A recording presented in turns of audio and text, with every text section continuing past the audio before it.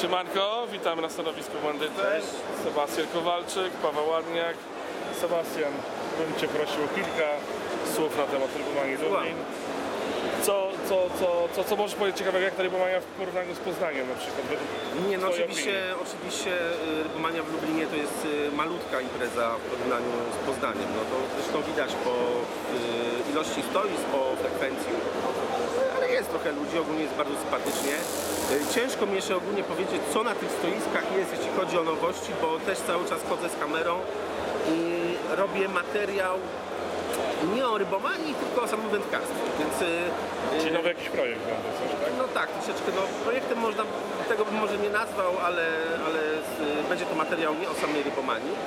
A co jest na rybomanii, na pewno będę oglądał dopiero w niedzielę, pod sam koniec to się przejdę i wszystko sobie obejrzę. No ale to ja ze, z powodu, znaczy ze względu swojej pracy mam tak zawsze. No, oglądam na samym końcu i tak nie, nie mogę, nie, mogę sobie tak wszystkiego na spokojnie obejrzeć.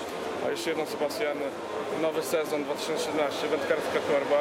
Jakieś plany, coś możesz zdradzić, co będzie No widzisz, tak jak? Ci mówiłem w zeszłym roku, że y, chcieliśmy celować głównie w łowiska polskie. Niestety się nie udało, ponieważ a to nas do Anglii zaprosili, a to, był, a to się pojechało do Niemiec.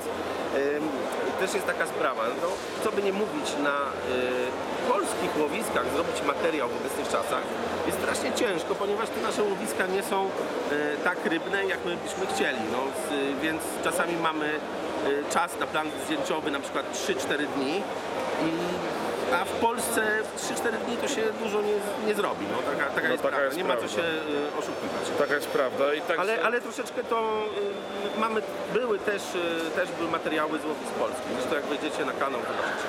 Jasne, serdecznie zapraszamy. I ja Ciebie zapraszam jak zwykle do Irlandii, jak będziesz. W tym roku się, zawsze y, powiem Ci tak, y, w Irlandii w przyszłym sezonie na pewno będziemy, bo już mamy zaproszenie. Wiem.